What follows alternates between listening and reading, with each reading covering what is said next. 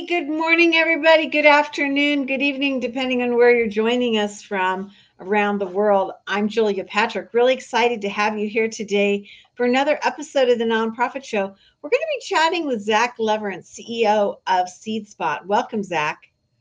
Thank you. Thanks for having me, Julia. You know, this is like one of those huge topics that everybody wants to get the inside scoop, and that is how do we get, attain, keep modern corporate partnerships? A lot has changed over the last five years, and um, some of it would have changed anyway because of the pandemic. Mm-hmm. Maybe others wouldn't have. So, we're going to get into rethinking how this all works. And I can't wait to learn from you. Another thing that we learn from every day are our amazing partners. They include Bloomerang, American Nonprofit Academy, Staffing Boutique, Nonprofit Thought Leader, Fundraisers Friday, our new episodes on Fridays just dedicated to fundraising. It's really exciting. And your part time controller. I'm Julia Patrick, as I mentioned, CEO of the American Nonprofit Academy. And I'm flying solo today with Zach, but we have this amazing cohort of co hosts. They come to us from around the country.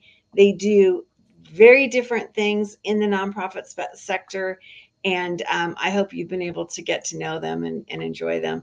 Okay, Zach, Seed Spot. I first uh, met your organization, and you're telling me it's now 15 years, which freaks me out. Almost. 15. Yeah. time flies. Okay, what is Seed Spot? Sure. Uh, and thanks for having me to yeah. talk about our work and uh, excited about this topic as well. It's an important part of our model and strategy.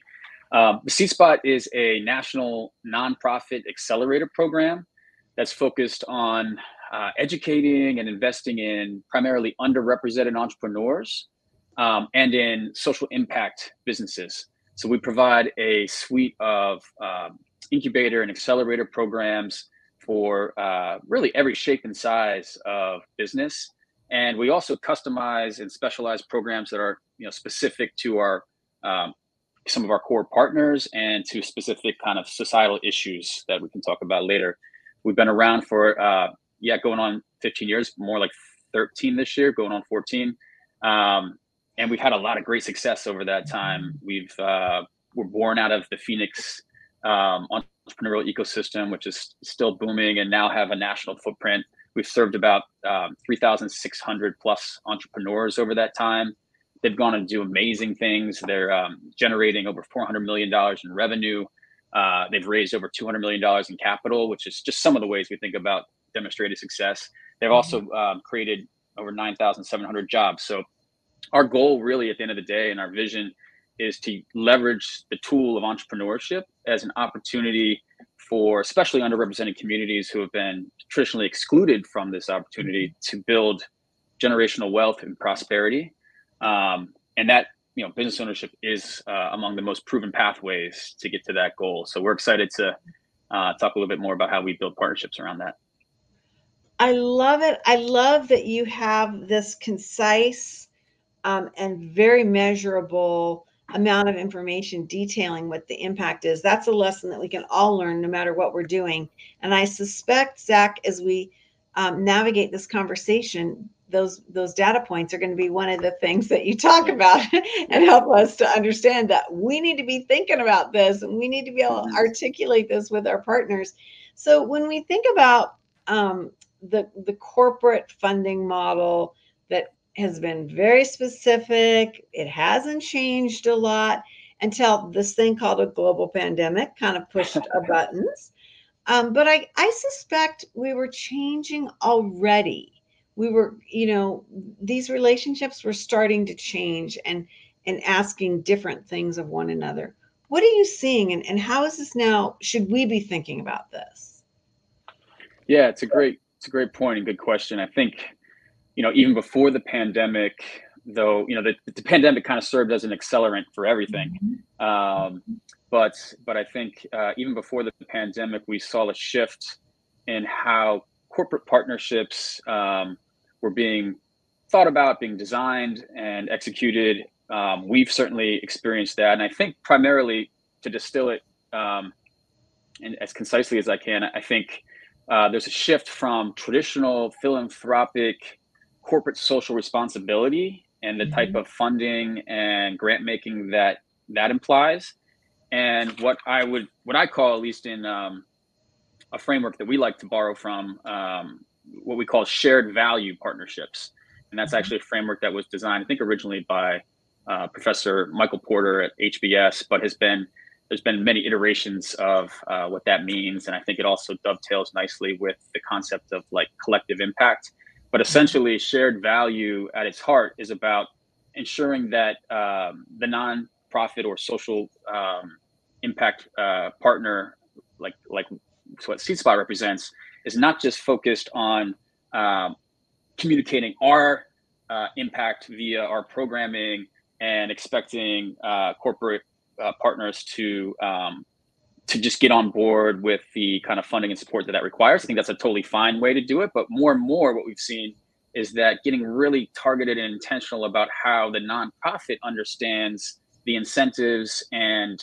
Value that they can provide, that we can provide to a corporate partner, mm-hmm. um, which takes a lot more time. It's a, it's a, subtle shift, but it actually is is uh, uh, something that's overlooked oftentimes by nonprofit leaders. Really understanding, for example, the business model of a corporate partner and why they'd want to invest in a even you know in a um, in a nonprofit program that may have tangible impacts over time on mm-hmm. their kind of business integrated strategy.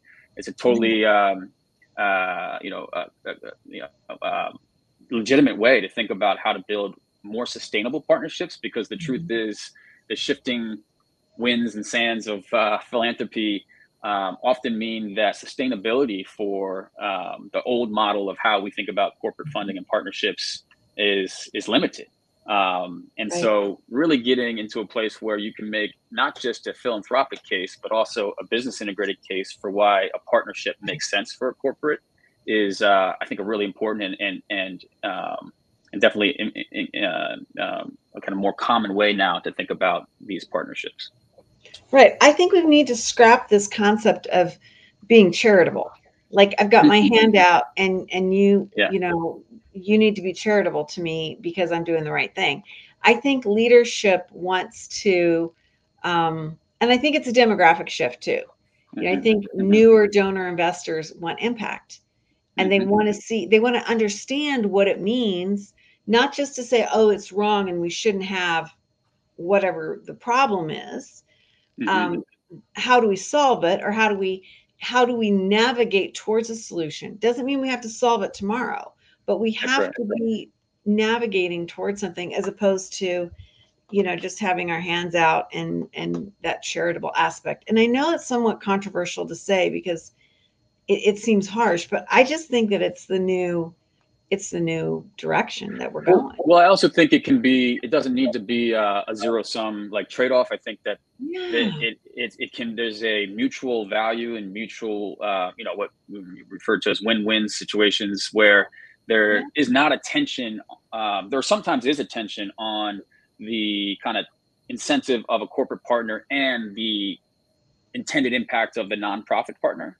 Mm-hmm. Um, but when there's and so we're looking for ways at SeedSpot where we we're not compromising at all in fact we're amplifying and accelerating the impact we can have via a more intentional look at how corporate sponsors or funders or partners think about their own um, their own goals and objectives so like for for example um, I can give a couple examples of this, but one that comes to mind quickly if, as SeedSpot is that we are in a partnership with um, two organizations uh, called one called the Humana Foundation, which is the um, foundation arm of uh, Humana, the insurance provider, and the Volunteers of America organization, which is a national human services organization serving mm-hmm. about 400 communities, 2 million people a year.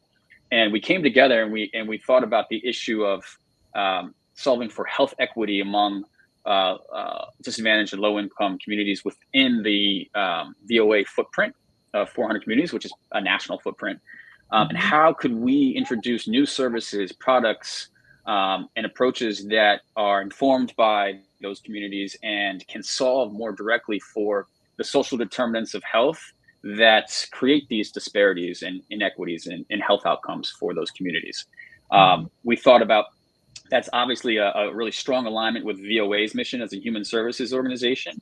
Um, we at SeedSpot are experts in finding, sourcing, and then scaling and, and piloting uh, new interventions, products, services that have a social impact dimension to their um, to their design.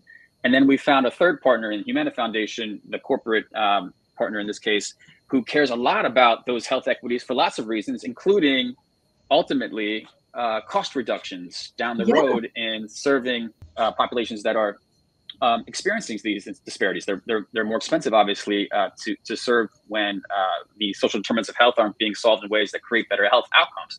So that's one of these cases where we can actually have complete alignment between three separate partners, each providing a complementary kind of uh, component to the partnership that um, makes it greater than the sum of its parts and creates a sustainable model if we hit those outcomes because it's integrated into how we're all measuring our success and our mm-hmm. impact over time. Um, so that's that's just one example, but uh, but when you can really align and continue to keep aligned the incentives for participation in a corporate partnership, um, more than just the annual renewals of a grant cycle uh, proposal, then uh, I think we can be more sustainable and more impactful at scale. Right. So let me dig a little deeper into that because I love that example. I mm-hmm. love that there is the, you know, the social outreach, the mm-hmm. identification of an issue, that it's national, and that mm-hmm. there's a reality that an economic reality for one of the main players. So let me ask you about this who in that relationship comes up with this strategy? Like, did mm-hmm. did you all go towards Humana and say, this is how we can build a relationship, or this is what a partnership could look like? Or did they come back to you? I mean, how do we get this done? Given that it's a changing way of looking at partnerships, and then who does these deep dives to figure out how this can all work? Yeah, I think it can uh, it can be any partic- any any of the partners can like kind of be the what we call the backbone partner in a relationship okay. like this and that's actually borrowed uh, term from the collective impact framework. But usually these partnerships do have one central kind of organizing partner who makes sure that there's a common agenda that everyone's paying attention to that we've all clearly defined our roles and accountability to those roles that we have clear like cadence of communication that we're continuing to uh, revisit the core assumptions about why this partnership creates the aligned incentives that we began with and adjusting those as needed because they, they're dynamic, they change over time. Mm-hmm. Um, and so in this case, yeah, it was a combination of Volunteers of America and SeedSpot coming together, understanding that we had these complementary um, kind of service offerings. The uh, the population that we aim to serve is one that VOA already serves. Um, the the need to have new uh, products and services that solve for these health equity issues is one that we could help VOA approach and solve.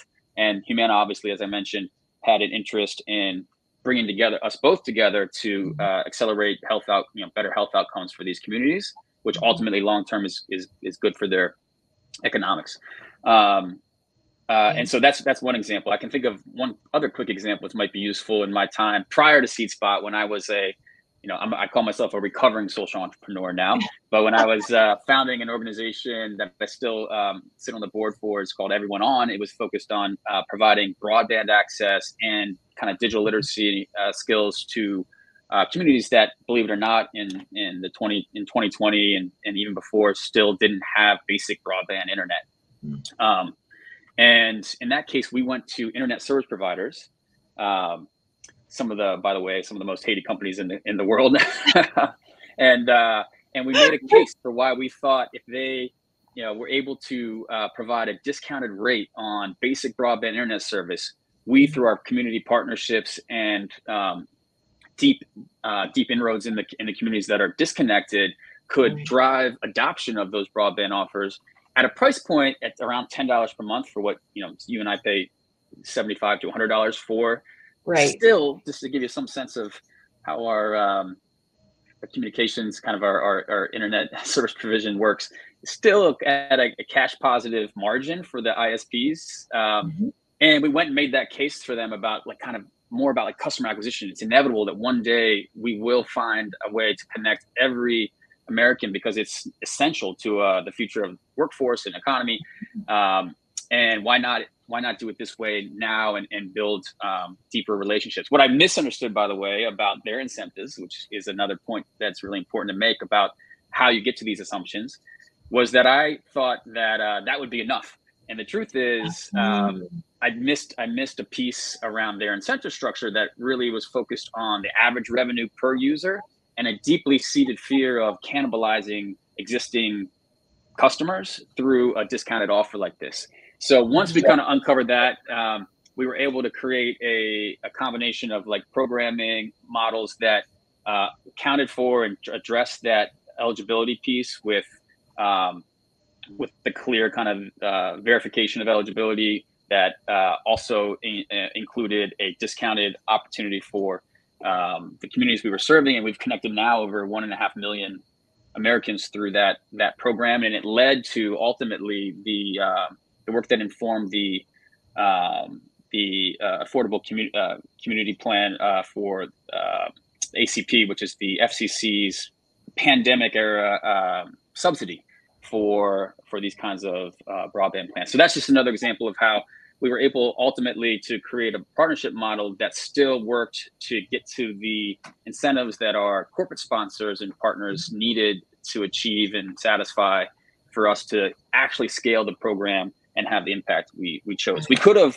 we could have um, uh, you know uh, been very focused on on a very specific ISP and a very you know specific geography um, and done made a small dent but not really move the needle on this problem. But to I think to really get it to be sustainable and at scale, we needed to think about how this was going to be a part of an uh, an integrated business strategy for the ISPs as well. So really, it it it great two great examples because talking about the um, relationships and those partnerships i love that um, everybody came to the table with what it was that they were looking for or what they needed and it sounds mm-hmm. to me like through this trajectory you had um, i don't say back and forth but you had discovery needs discovery as they say and you had to have the flexibility to create this new type of partnership how long do you think this process takes? Because mm. the, the old school, it's like, here's the plan, yay or nay, right? Versus kind of massaging these opportunities. Yeah. I mean, I think in, in some ways, of course, it's, it's, um, on a case by case basis, depending on like mm-hmm. how much alignment already is in place before the partnership conversations begin. But I think it's um, there is uh, a uh, it takes longer than most people realize to get it right, and and I think and that's in, in part because I think good partnerships are relational; they're not transactional, uh, and so we are all humans, and we uh, we communicate and trust and build uh, relationships um, with each other in professional settings and personal settings and that's really important in building um, a, a, sustainable partnership is to understand mm-hmm. that um, we are in uh, this together that we're building a shared sense of um, what success looks like and that we are ensuring that everyone's in, involved in defining that um, and then we're holding ourselves accountable to those outcomes and our specific roles within the collective model that we've you know decided on so i think it takes a while to get that right um, mm-hmm. and I think much like a fundraising pipeline, to be honest, there is a high failure rate. Um, yeah. Of like, and I wouldn't say failure rate like we you get to go and then it fails. I'm saying getting to go is uh, getting to a partnership and then actually implementing it.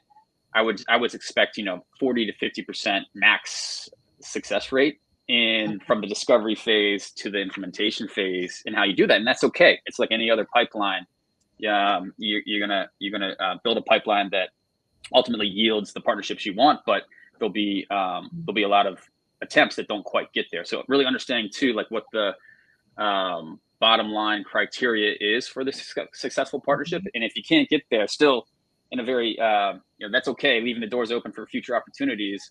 Or if like you realize there's not enough complementary value between the two partners and it's more duplicative, like there's another that's another way that you could say, hey, let's not let's not push this and fit a square, right. you know, peg into a round hole um, but that takes time to uncover and and to do it right. I think uh, you know I don't I don't know that I'd put a specific number on it, but I say on average we spend a couple months building out the framework of what a partnership could look like before we actually get into any terms of, of how we might proceed.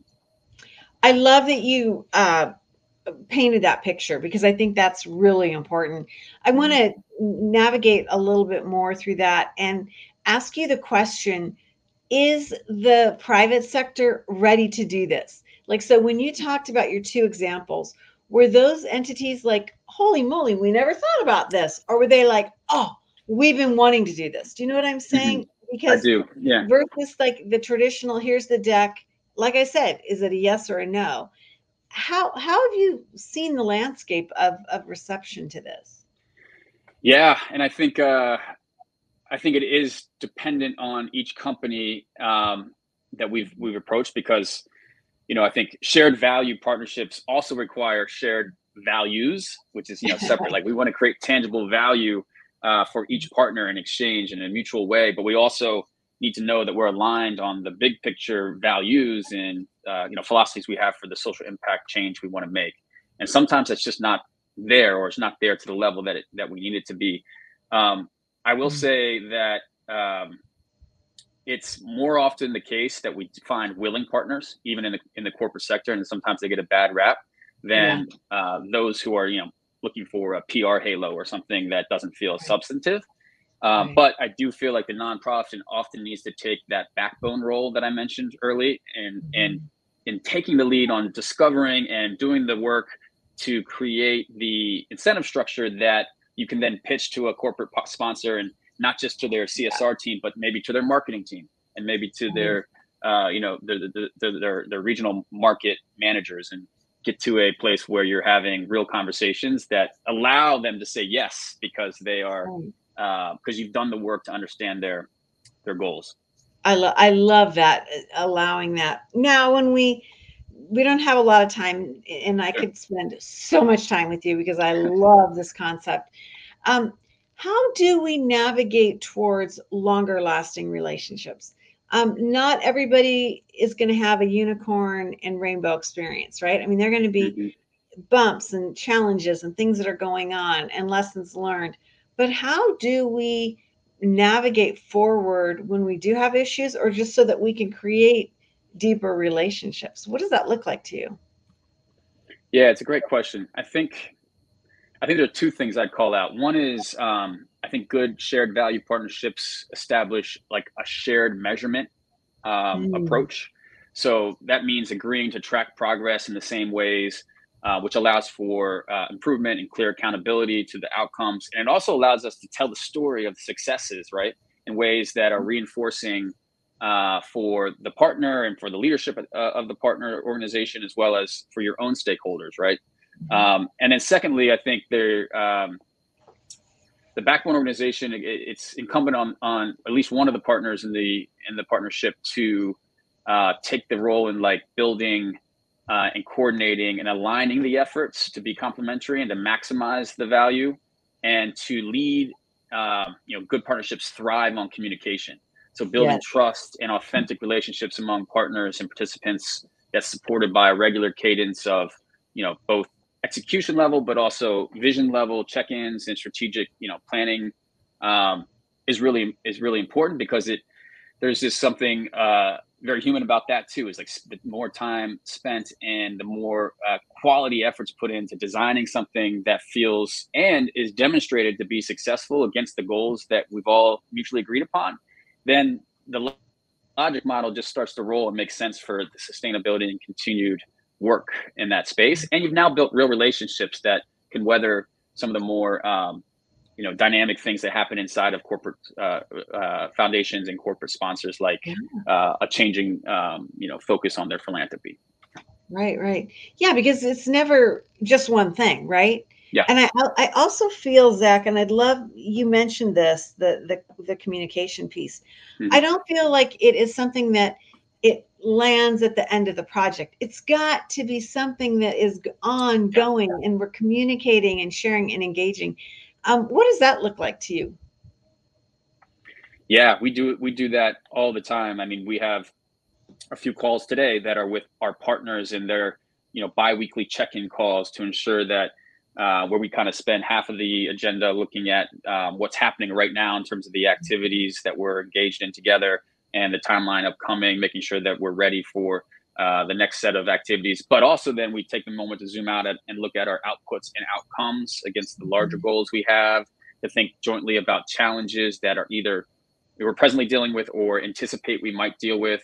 Um, and and and what it does it really builds a um, common sense of ownership and buy-in of the program and the outcomes in a really collect in a collective way as opposed to um, just kind of showing up and signing a check uh, they feel right. invested in the in the program right right and you know i think we spend so much time now um, across all sectors of corporate america talking about employee retention and, and not just mm-hmm. attraction and growing but but these are the values that our our staffs are looking at and the teams are wanting to know and i feel like there's this internal i mean you use the pr halo effect mm-hmm. which is undoubtedly a tremendous value but mm-hmm. just the reality of how we cultivate that health within our organization i've got to believe that in some of your corporate partners this is just gold for them to take back to their teams to say look we're investing in this and we're engaging in this. We're not just writing the check, there's opportunities.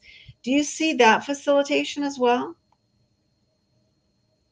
Yeah, sorry. Is the question? Do I see the uh, the facilitation, facilitation of bringing you know your corporate partners teams more more fully or mm. more deeply in engagement so that they can be a part of that journey as well?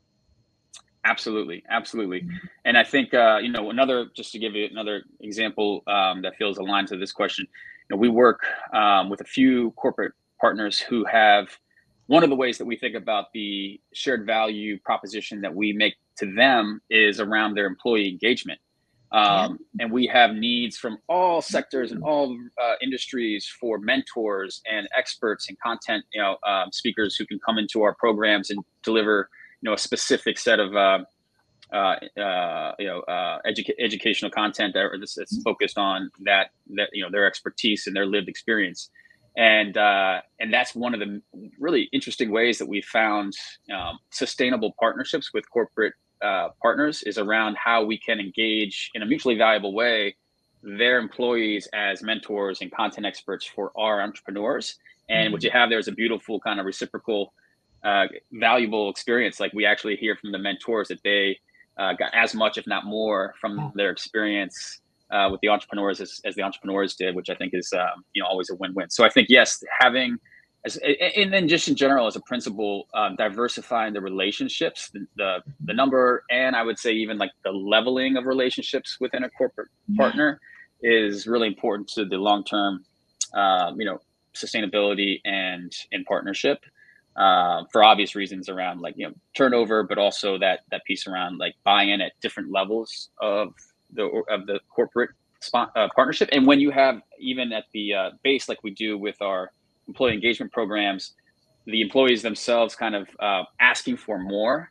Uh, yeah. It's hard for it's hard for uh, uh, you know a partner to say, ah, we don't want to do that. So I think there's a you know a win-win there in, in building out a diverse set of relationships across the partner organizations.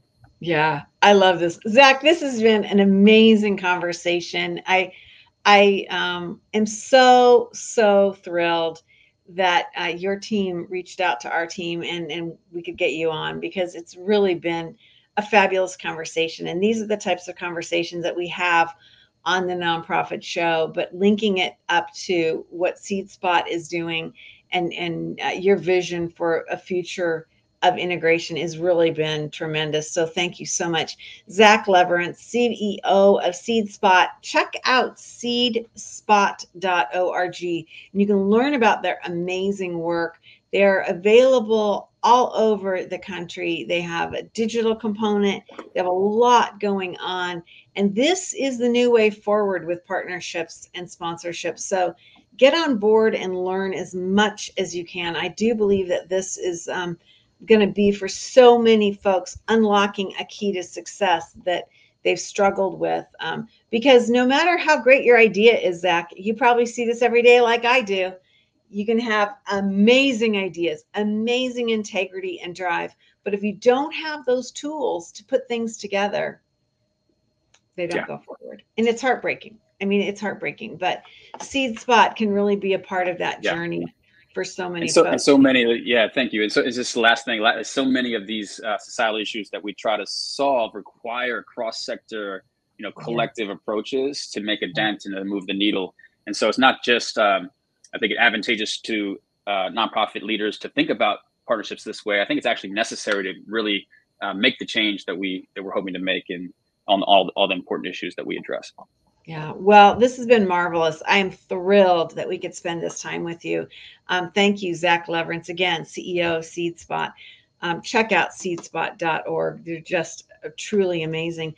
We also want to give a shout out of gratitude to our amazing partners, and they include Bloomerang, American Nonprofit Academy, Staffing Boutique, Nonprofit Thought Leader, Fundraisers Friday, and Your Part Time Controller. These are the folks that allow us to have these amazing uh, engagement time with, like we've had with Zach and uh, his group at Seed Spot today. So thank you so much. Zach, as we end every episode, we have this mantra. We've been doing it since the beginning, since the very first show, 1200, nearly 1200 episodes ago. And it means something so different to me after having chatted with you. And it's really powerful. And the message is this to stay well so you can do well. Thanks, everyone. We'll see you back here tomorrow.